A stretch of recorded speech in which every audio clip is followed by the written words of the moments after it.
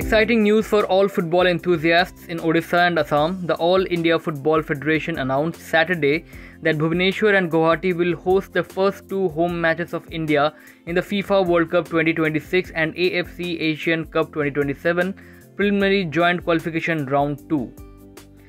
General Shaji Prabhakaran, the AIFF secretary, congratulated the Football Association of Odisha and Assam Football Association on successfully bidding for the hosting rights of the matches and wished them luck for delivering matches at a world class level with the support.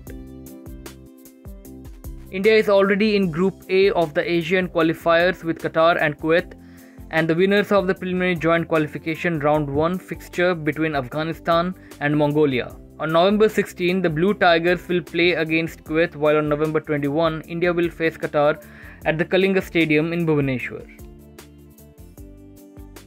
Stay tuned to Odisha Post Live for more such contents.